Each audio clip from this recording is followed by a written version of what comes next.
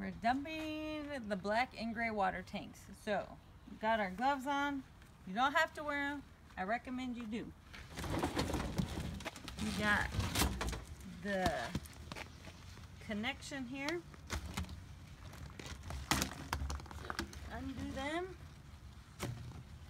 Oh. You can use this if you need it. So there's a cover here. So you turn it, take it off. I'm gonna take this in with the hooks, put on there, connect it like that. Then you go to the this part and uh, depending on where you're dumping you have a connection like this it goes in. Oh here let me screw this on. Like that. And you connect it here. Like that. So then the black water has black tape on it. You pull it first straight out This is what this is used for. Hold your hose. So that it does, doesn't have any gaps or whatever. So let it drain.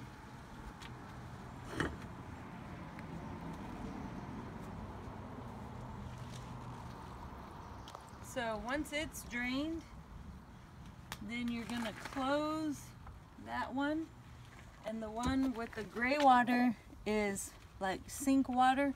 And so we do it second. And it's going to rinse our hose out and dump. So black first, gray second. Because the gray rinses everything out. So then you don't have to do it. Because that's gross. want it all. Well, all right. So then you close it. It still got water okay.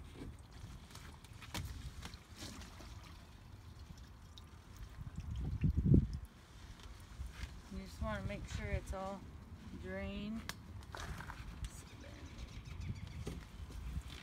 Take this off. This is why we don't store other stuff in this compartment. Put this cap back on.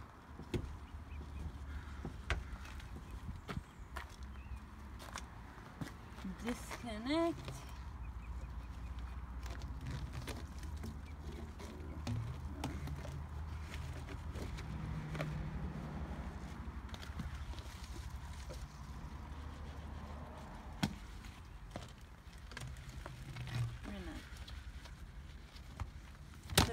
Longer hose, you can use both of them, or you might just need one. Connect the two ends together. Stuff it in there. This is not a clean compartment. You don't want to store anything else in the pooper hose compartment. it's not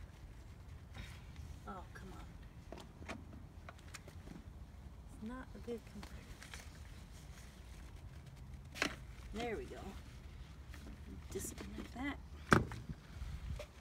So, some of the places you have different connections, so it will you know, tell you where. And then put that all away we got water. So rinse off our gloves.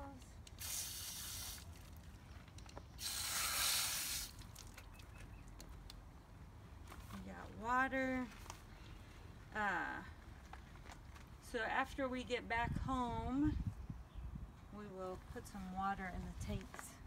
Show them how to do that.